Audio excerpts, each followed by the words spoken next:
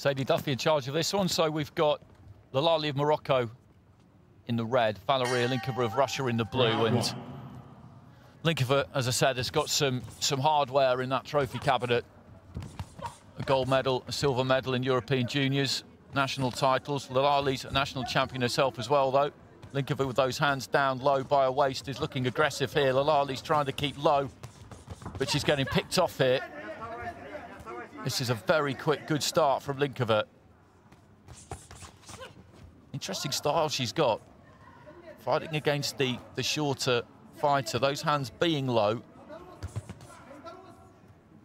is working for her because Laghlali is, isn't as tall and she also dips quite low as she comes in. So firing those shots from the waist means the trajectory is quite easy. She just needs to shoot them up a little bit. Whereas if she had that tight high guard, she'd be punching down, which can be quite, quite tricky. Sticks that jab again, standing just on the borderline there, Linkova. She's slightly out of range there for Laghlali, and she knows it because Laghlali is is lacking that kind of reach that she's got. And the Moroccan is just trying to inch forward, and then when she commits, Linkova just takes half a step back and counters her with the right hand. This is going to be a tough job for Laghlali. You can see that already. And again, as she comes forward, she gets caught by left hand. She's got to try and move her head, the Moroccan fighter, fighter in red.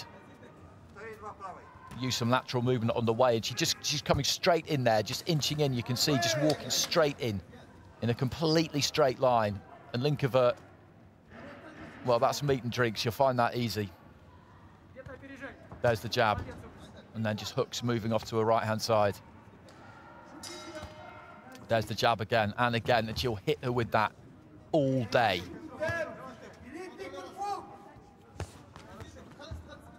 Left hand steps off to the left, throws another left. It's the final minute of round one. Again, just exiting to the right after throwing that right hook.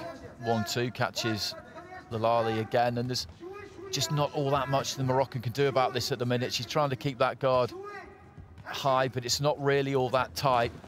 Feet come forward, but Linkova's movement is is too good to be caught by that.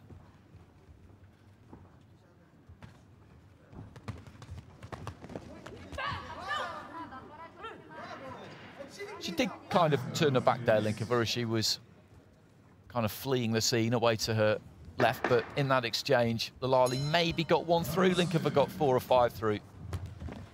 That's a lovely left hand, just moving off to the left-hand side, and Laghlali, as always, so waits forward. She can't really stop herself when she commits. And just a step off to the side there from Linkova, times the left hand. She's a level above.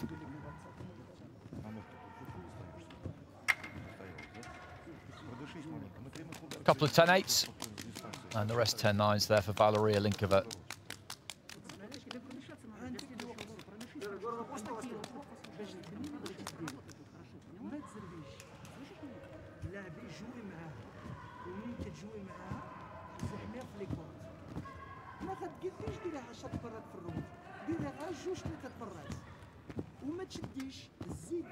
Did you just see the, the gloves just bouncing off that red head guard.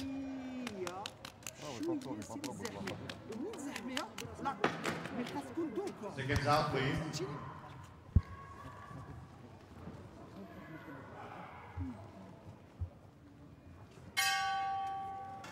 Round two. عندك الوقت شوي علي فوالا شوي معاه شوي معاه لا تستناك تستناك تظن على فوالا شوي For the uppercut a couple of times in the second round so far. Not something we really saw her throw, Linkova, in, in round one. The uppercut, it's definitely there because Laghlali dips that head as she comes forward and as I've been saying, as she commits, the weight is forward. And there's no real way for her to get it back. So if she times that uppercut right, Linkova, then, then that could do some damage. The jab is working perfectly nicely, though.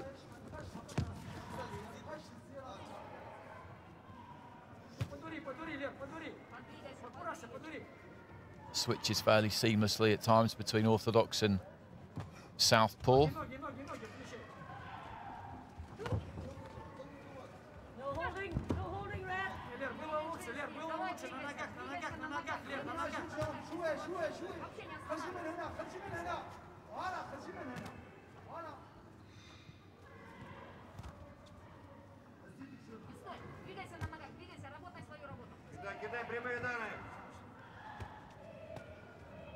Just flicking that jab every now and again, Linker, but really she's waiting for Laghlali to come in on it, which she knows she will do at some point. Long right hand. And again, lovely one-two. And our referee steps in with a standing count as the head just snaps back there. I feel for Laghlali a bit here because there's just not anything she can do about this. She's up against someone here who has got all the tools just to pick her apart, and that's exactly what she's doing. And for Linkova, quite honestly, this is easy. This is like a sparring session. Switches southpaw, throws the one-two, lands it out of that stance as well. Just trying to feint with that front foot there, Linkova, just seeing if she can tempt Laghlali to, to come in. But the problem Laghlali's got now is that when she does come in, she gets hit. And when she's standing at range, she gets hit. So it's difficult for her to know really what to do.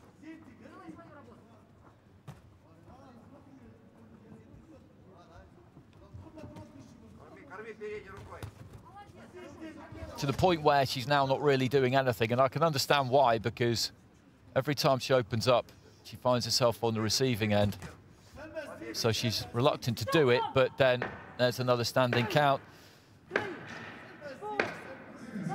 If she doesn't do anything, then Linkova will take that invitation, step into that space and, and let her hands go, really with impunity.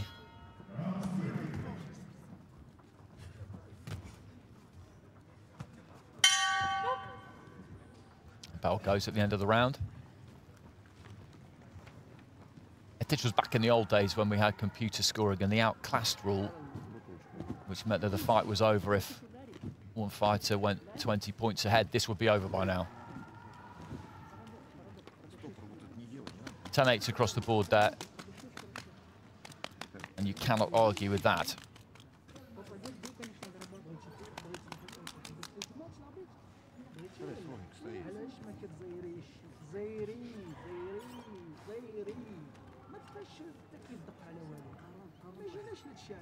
على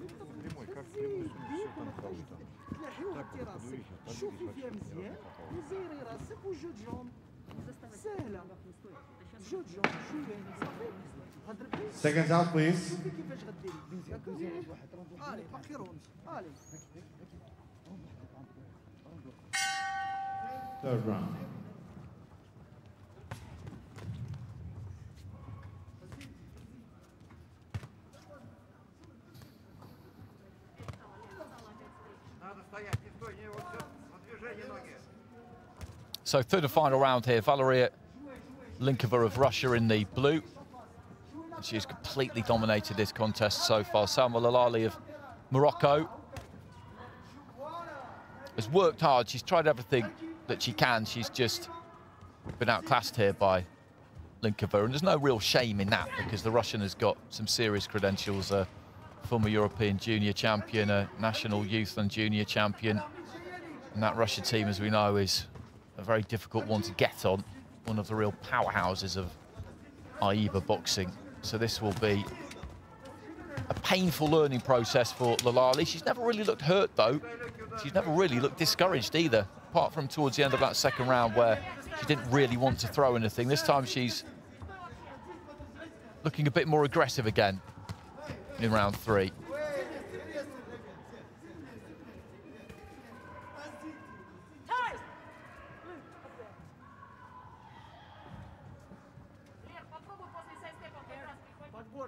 It's the hair, I think, sticking out the top of the head guard, which the referee is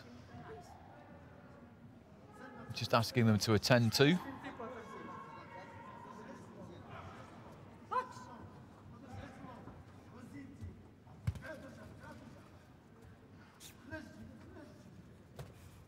There's that jab.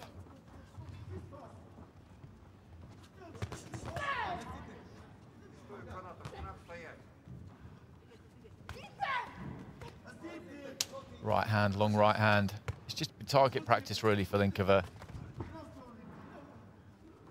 Lali looks kind of compact and organised the way she just creeps in, shuffles forward with that front foot. She's generally got that guard up, but she doesn't move ahead at all really. And Linkova's found it easy to pierce that guard.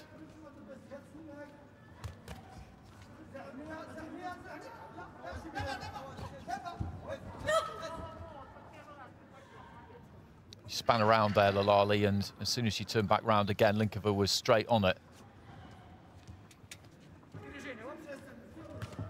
And Linkova will be up against Kovo Oya, who we saw in the previous fight. And they're two very similar fighters physically. Tall, have got the reach, have got the range. Coach, here, please. Well, the hair just keeps coming out the top of the head guard there. I don't think it's really obscuring her vision. I mean, it looks untidy, but I don't think it's really having any effect on her. Final 30 seconds. After this, we head into the men's light heavyweight division.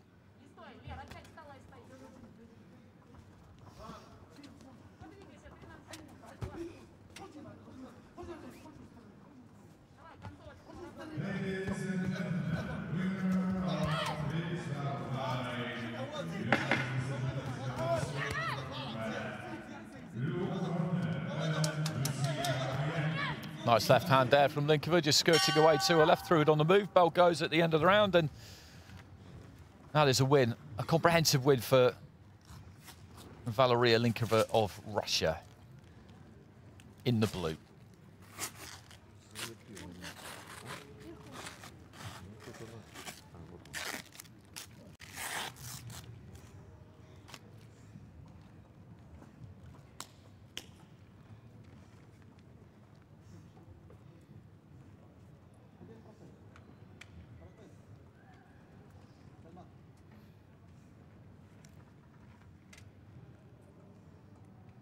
Ladies and gentlemen, the bout 137 win by points with the unanimous decision. From the blue corner, Valeria Rikova, Russia.